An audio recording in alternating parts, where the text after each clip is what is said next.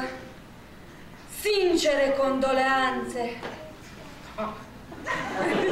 Vă mulțumesc, doamnă Smith. Vai, domnule Smith, când mă gândesc ce noroc a avut, ce soț minunat i-ați fost. De, fiind vecini, mai vedem și noi ce noroc a avut. Dar acum gata, s-a dus. Așa e și cu norocul.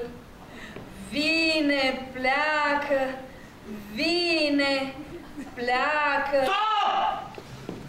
Ce joci acolo? Păi ce e aia?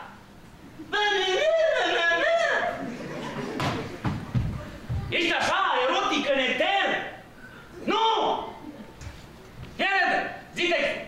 De la început. De la început! Vai, Vai! Tu auzi ce zici? Vai! Pui mâna pe el, da? Vai! Vocala! Ai! Domnule Smith! Vocala, da? Da! Vai, așa faci! Pui mâna pe el! Să fie clar pentru tot prostul din sală că tu te dai la el! Da? Că te bucuri, mă, că a murit aia! păi mă bucur. Unde te bucuri? Aici. Trebuie să fii mai... Cum să zic eu? Mai... Mai sexy așa, nu? Ia, hai încă o dată! Ia, hai, hai! Hai! De la început! Auzi? Tu să nu mai dai indicații actorilor mei, ai înțeles? Dar eu ce să fac? O cafeluță, să mai spăl niște rufe? Ce mai face un asistent de regie? Ce idee bună! O cafeluță, mulțumesc! Hai! Ia uite mă, nici bunul timp să-și închidă telefonul n-are! Închide-mi mai telefonul ăla! Bun găsit, doamnelor și domnilor! Alice Nicolae, actriță alături de mine la Montreal, împreună cu uh, trupa de teatru spiritual a lui Ioan Ghiuri Pascu. Bine ați venit la Montreal. Cum găsiți Montrealul pe înce- în începutul ăsta de primăvară? Neconcludent. Bine v-am găsit. Uh, Montrealul este frumos așa cum l-am lăsat. Uh, Este o iubire mai veche a mea și m-am bucurat foarte tare să-l regăsesc. Când ați fost aici ultima oară? În uh, septembrie 2013. Septembrie 2013, deci nici o toamnă frumoasă, doi ani și un pic. S-a schimbat ceva în moral? Mai- Vreau să văd care e percepția dumneavoastră, pentru că noi, cei care stăm aici de mai multă vreme, uh, avem o altă perspectivă asupra lucrurilor. Mi-ar fi plăcut să găsesc mai mult soare. Cumva e firesc să nu fie. Mi-a plăcut să văd că ninge, deci am lăsat o toamnă frumoasă, am găsit uh, fulgi de zăpadă. Oamenii sunt la fel de cla- calzi și plăcuți precum i-am lăsat. E o aparență oricum, dar uh, trecând, trecând peste acest aspect, um, ați venit, ați venit aici cu o piesă de teatru foarte interesantă, care știu că se bucură de succes în România. Spuneți-ne câteva cuvinte despre reprezentația pe care o veți avea în seara asta. Um, pot să vă spun că abia aștept să întâlnesc publicul român din Canada. Uh, Întotdeauna e o bucurie să poți să faci altora o bucurie. Um, nu știu cum o să fie bi- primită piesa, dar sper că cu brațele deschise. Cum e viața unui actor tânăr în România astăzi? Frumoasă, zic eu. Am înțeles că nu toți credem acest lucru, dar pentru mine e frumoasă pentru că iubesc teatru și cred că fiecare avem un loc sub soare, nu? Acum, sincer, cum e viața unui actor tânăr în România? Da. Cum să fie? Nu știu cum e viața unui actor tânăr în România, știu cum e viața mea ca actor tânăr în România. Um, În această perioadă am proiecte, mă bucur să le, să le fac cât pot de bine.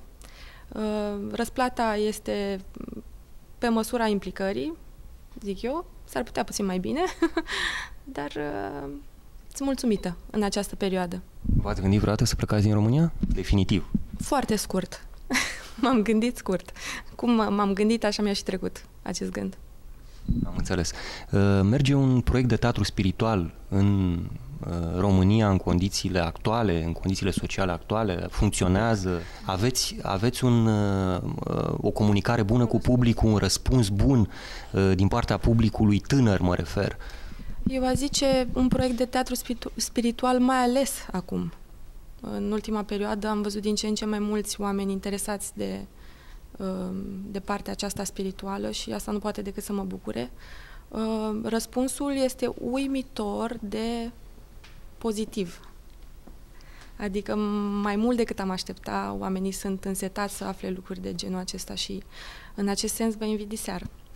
Spuneți-mi, vă rog, ce țintește piesa 4x4 personaje? Nu trage cu arma, nu trage cu arcul, dar într-adevăr să spunem că își dorește textul acesta, piesa și punerea în scenă, uh, ne-am dorit foarte tare uh, să cuprindem nu doar mințile și intelectul și rațiunea omului, cât și partea aceasta a emoțiilor, a sufletului, cum mi se mai spune, deși ar trebui să facem o distinție între suflet, spirit și sentimente și emoții, nu o să intru acum în amănunte, că ar fi prea mult, uh, dar această simbioză, această îmbinare uh, a minții cu inima omului s-a cam, s-a cam pierdut, s-a cam diluat. Ne propunem să ne amintim ce înseamnă emoție, că emoția ne face, ne diferențiază de restul speciilor care, care trăiesc pe pământ, ne propunem să ne amintim că toți, de fapt, împărtășim aceleași trăiri. Nu contează naționalitatea, nu contează vârsta, nu contează culoarea pielii. Omul trăiește bucurie, trăiește nefericire, uh, simte că este frustrat de, de uh, greutățile și de ceea ce societatea, încă o dată, nu contează care societate, îi impune să trăiască această, acest ritm nebun și falsitate Uh, care ne, pe cei mai mulți oameni, mai ales în acest secol, sfârșitul secolului 20 și începutul secolului 21, toate aceste elemente ne împing către un haos, un haos, un dezechilibru. Deci de aceea întâlnim extraordinar de mulți oameni dezechilibrați, nu pentru că ar fi neapărat bolnavi psihic sau că ar fi pățit nu știu ce chestie în viață, pur și simplu ritmul și um, desprinderea de propriul suflet. Această desprindere s-a întâmplat cândva noi încercăm să punem, să lipim lucrușa, lucrușoarele la, la un loc.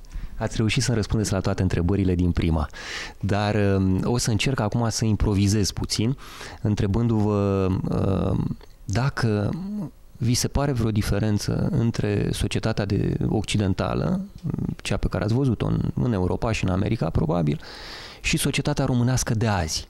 Și dacă există vreo diferență, spuneți-ne care, în opinia dumneavoastră. Mi se pare o întrebare la care ar trebui să nu răspund în general, uh, pentru că în general nu putem răspunde, putem răspunde, răspunde particular.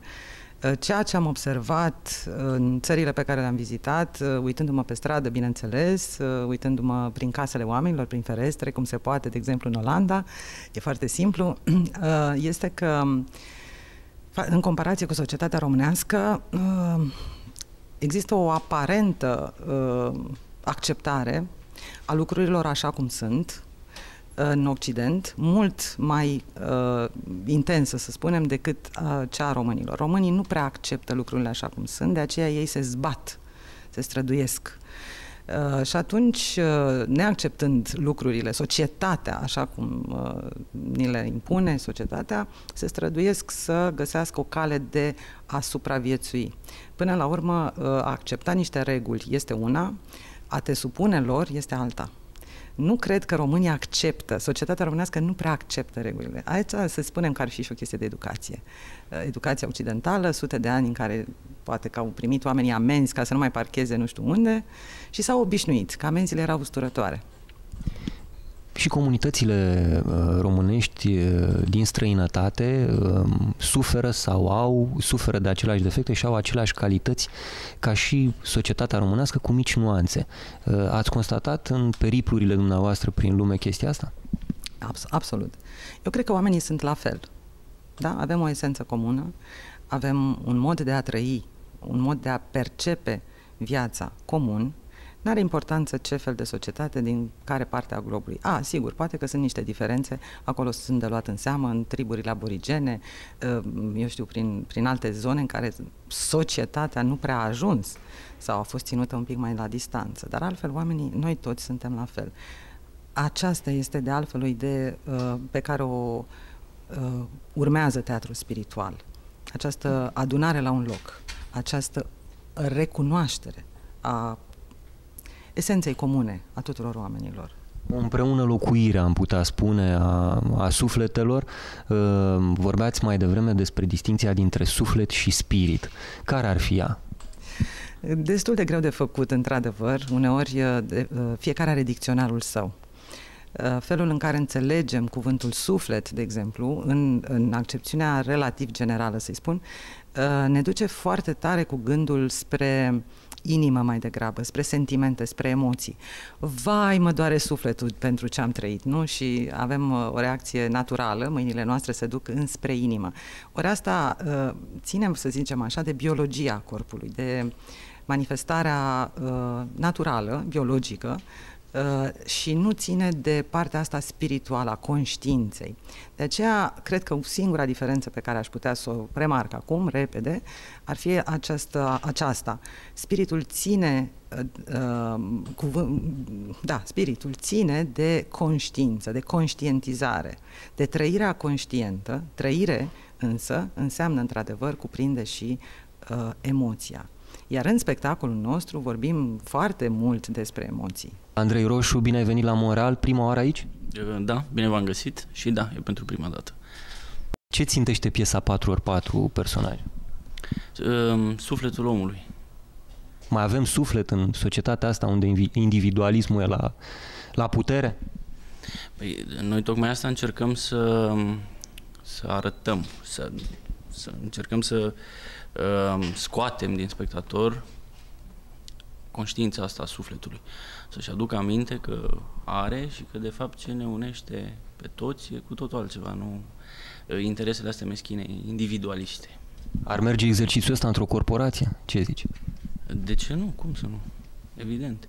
Uh, noi am avut public uh, chiar format din psihologi și am primit un feedback foarte bun. Pentru că și spectacolul ca atare e ca o terapie pentru uh, public. Deci publicul morales va pleca mai liniștit acasă, înțeleg, în seara asta, nu? Să sperăm. Uh, cel puțin cu întrebări să plece. Să-și pună întrebări. Într-o lume în care începem să ne punem din ce în ce mai puține întrebări, să avem din ce în ce mai multe certitudini, aveți un proiect, uh, un proiect foarte îndrăzneț. Uh, o să revin cu întrebarea pe care, pe care am adresat-o și uh, lui Alice mai devreme. Publicul din România, tinerii din România de astăzi, sunt receptivi la un, as, la un asemenea mesaj? Bineînțeles, din, în primul rând cei tineri Uh, am observat asta, cum spunea și Alice. Uh, din ce în ce mai mulți oameni tineri sunt interesați de partea asta spirituală. Uh, își dau seama în ce lume trăiesc și atunci caută să sape în ei și să găsească adevărul lor. Mă concentrez puțin pe aspectul legat de teatru spiritual, uh, întrebându-vă uh, dacă un astfel de proiect este mai uh, interesant pentru publicul din România de astăzi decât ar putea fi umorul. Pentru că v-ați consacrat prin umor, ați luat pulsul publicului uh, în România anilor 90, uh, public dornic de umor, după întunecimea de înainte de 89, am trecut la o altă etapă cumva în societatea românească? Nu neapărat. Sincer, pentru mine este neesențial dacă vrea cineva mai mult sau mai puțin, pentru că aceste lucruri nu se exclud. Umorul uh, nu se exclude dintr-un proiect de teatru spiritual, așa cum spiritualitatea nu e, e adecvat să nu se excludă nici din umor, nici din, uh, din tristețe, nici din bucurie. Și atunci, uh, pentru mine e foarte simplu. Pentru mine e foarte important Uh, să, să ai bucuria de a face un lucru, de a-l duce la capăt, de a mulțumi uh, că ai această capacitate, că ai primit într-un fel această misiune de a, de a lucra spiritual, iar după ce ai, cum să spun, după ce s-a și moșit copilul și a plecat în lume, nu mai e treaba ta cum e perceput. Și atunci nu este important uh, că e umor, că lumea crede într-un teatru spiritual sau nu crede, este pur și simplu este un lucru pe care îl propui și întâlnirea fiecăruia cu un, cu un lucru artistic, fie că e vorba de o pictură, fie vorba că de un cântec, este o întâlnire extrem de personală și care îi duce până acolo unde să înțeleagă cumva o apartenență prin gândire conștientă a conștiinței lor, o apartenență la un ocean care n-ar putea exista fără totalitatea picăturilor lor, așa cum nici o picătură nu face mare brânză în momentul în care singură rămâne pe o piatră, la o pală de vânt sau la o rază de soare, se topește. Și atunci există uh, această bucurie de a face lucruri care să aducă oamenii împreună. Și când oamenii simt acest lucru de a fi împreună, simt bucuria oceanului, Rez... înțelepciunea lui.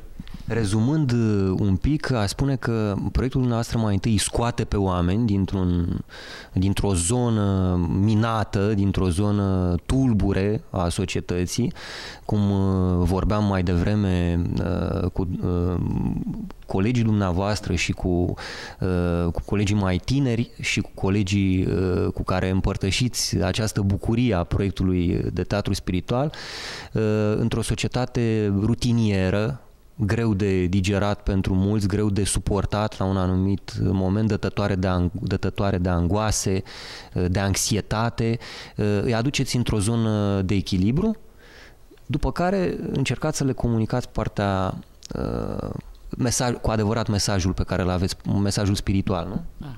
Răspunsurile și aici pot fi da și nu, pentru că putem să zicem că îi scoatem o dată când, când uh, vin ei din, din acea fugă, din care sunt vin la teatru pentru a căuta această liniște, dar de multe ori uh, s-ar putea să aibă șansa ca prima oară să pice în fântâna aceea în care își aude cou propriei voci doar, al propriei inimi, pentru că de multe ori îi duci în alte angoase pe care trebuie să și le recunoască pentru a le vindeca. Îi văd, pentru că e ca și pepita de aur toată viața asta omului um, e ca un minereu din acela care nu există în stare pură. Și de aceea un om care este în mod conștient și sincer pe o cale spirituală recunoaște că e dalmațian. Și atunci un dalmațian care e frumos, zici, mă, oare e alb cu pete negre sau e negru cu pete albe? Și aici nu se știe. Cu toții suntem dalmațieni pe calea asta spirituală și eu spun că sunt șapte miliarde de oameni pe calea spirituală, că vor, că nu vor. Și atunci ei când vin, văd de la anumite niveluri, uh, receptează acest mesaj așa cum ei l-au întâlnit. Unii se regăsesc în niște momente de tristețe, alte momente de râs, alții își capătă un echilibru, alții ies din acel echilibru aparent, din acea zonă de confort pe care ți-o dă de multe ori și suferința sau stresul. Uh, dacă îl pune cineva pe liber, pe un om care a lucrat la corporație Uh, șapte ani și lasă șase luni pe bară, să vedeți uh, cum nu-și găsește echilibru. Pentru că nu mai face team building, pentru că nu se mai duce repede să se îmbete cu colegii după patru zile, șase zile de muncă uh, robotică și așa mai departe. Există un confort, un confort și al suferinței, un confort și al stresului.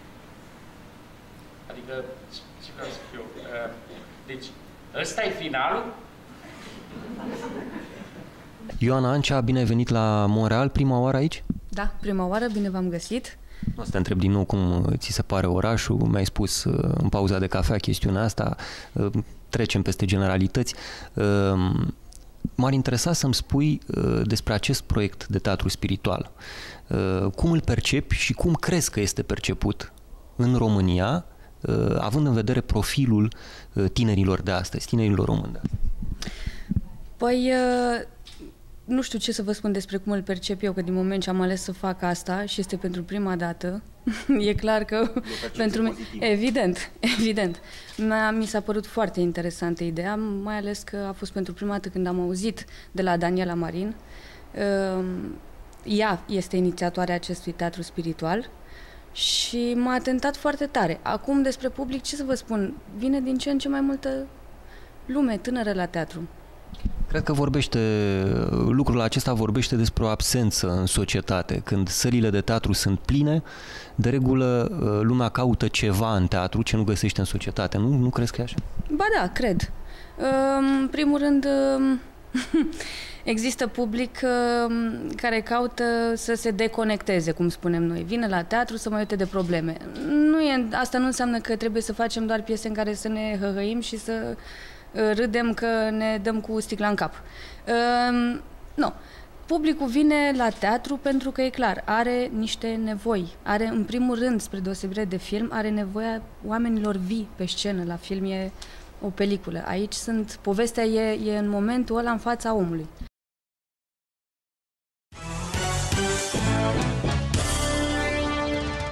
Bonjour, chers téléspectateurs, et bienvenue au Conseil du dentiste. Je suis Dr Birka, chirurgien dentiste.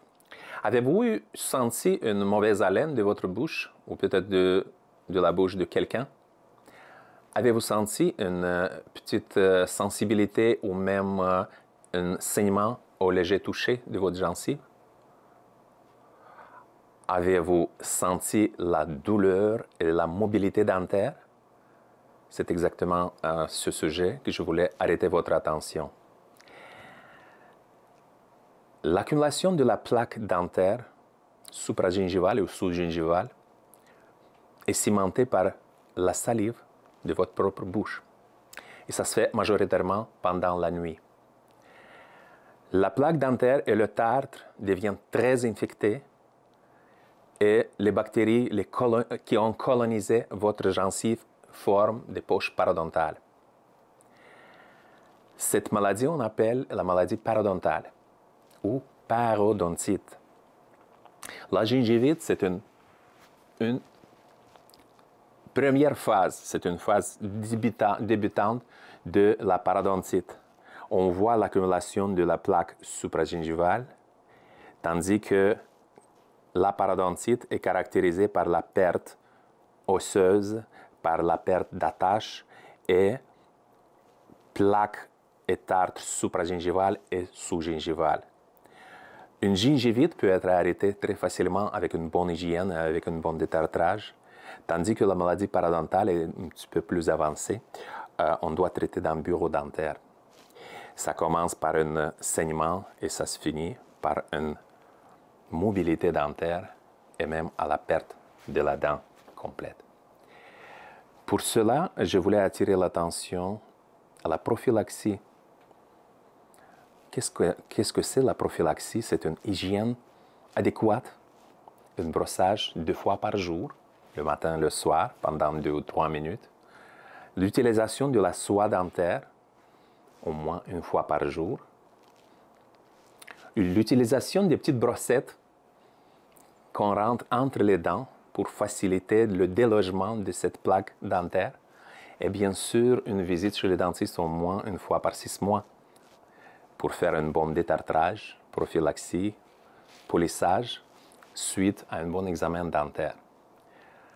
On dit que la maladie parodontale, et on connaît beaucoup d'articles scientifiques qui ont prouvé que la maladie parodontale a un impact énorme sur les maladies cardiovasculaires, sur la diabète, pancréatite, hépatite. Il y a un grand impact sur la maladie de tissus collagéneux tels que arthrite déformante. Faites attention, surtout les gens, les personnes âgées qui ont des problèmes d'articulation. Donc, on vous suggère encore une fois et on vous attire l'attention qu'une bonne hygiène personnelle et un bon suivi par un dentiste, ça va faire l'affaire et c'est mieux de faire toujours une bonne prophylaxie que de longs traitements et très coûteux.